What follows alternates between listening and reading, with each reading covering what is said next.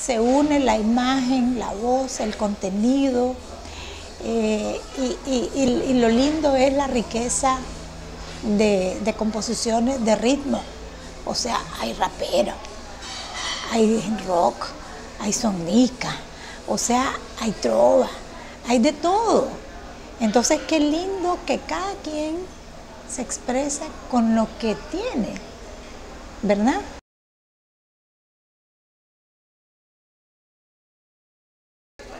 Totalmente.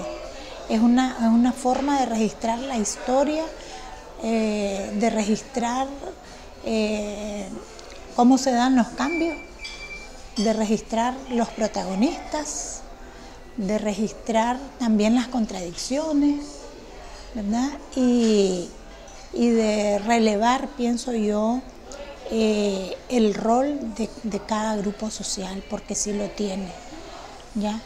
Entonces, te, refleja el papel de la juventud una vez más. Y, yo siempre tenía presente, hasta, hasta tengo una taza que compré cuando el aniversario de Fernando Cardenal, que él decía que él, que esperaba que los jóvenes volvieran a salir a las calles. O sea, cuando nadie les daba un, crédito, ¿verdad? él siempre tuvo la esperanza y la seguridad, porque ese hombre toda su vida creo yo que se dedicó a trabajar con los jóvenes y sabía la madera de que está hecha nuestra juventud en Nicaragua, porque él trabajó con, los jóvenes de ayer, que le dio a los chavos, somos los jóvenes de ayer, y entonces esa, esa, esa confianza, esa visión histórica que tuvo Fernando Cardenal, o sea, es una cosa maravillosa. ¿no? Y, hoy, ¿verdad? Nos dieron una gran sorpresa, ¿verdad? Cuando muchos decían, estos este, viven en otro mundo, están perdidos, solo viven en, su, en sus redes sociales, etcétera, etcétera. Pero no, ya la juventud dijo, somos, y aquí estamos, ¿ya?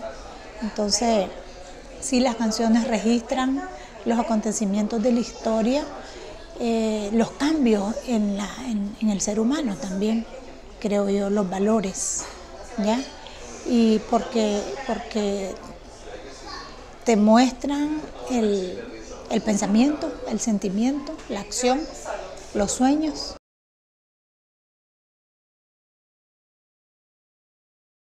No, no me lo imagino, fíjate porque tal vez cuando decimos música para mí no es solo la canción ya elaborada, porque por ejemplo las consignas para mí son como, una, como música, ¿verdad? Porque ya sabes, tienen un ritmo, tienen una rima eh, y la creatividad de la gente en Nicaragua, o sea, nadie nos llega, definitivamente. Creo que en el mundo nadie nos llega. La creatividad con que rápidamente la gente interpreta el, fondo de la cuestión y ¡pah! Te la, te la, te la devuelve en consigna. O sea, el, cuando vos, si querés analizar el sentimiento y el pensamiento, fíjate en cuáles son las consignas del momento. Y allí resume el gran sentir que une a toda esa masa que va ahí, o por lo menos a la gran mayoría. ¿Ya? Entonces, son cosas que se dicen sin pensar. ¡Pum! Te sale. ¿Por qué, ¿Por qué decir una consigna?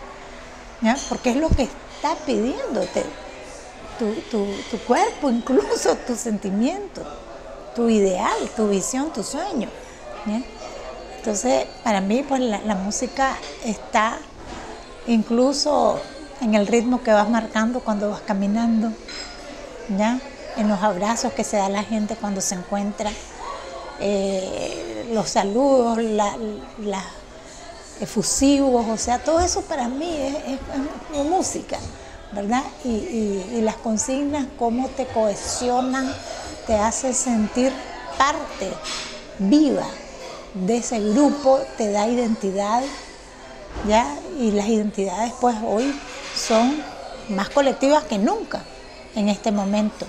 el yo, yo, yo no importa mucho, es el nosotros. Entonces la consigna te une con el otro, te identifica, cuando ves que decís algo y pega y todo el mundo te la contesta y otros la agarran y la continúan, la reproducen y entra la música y, es maravilloso pues las canciones que han sido las grandes protagonistas en este momento, como el pueblo unido jamás será vencido.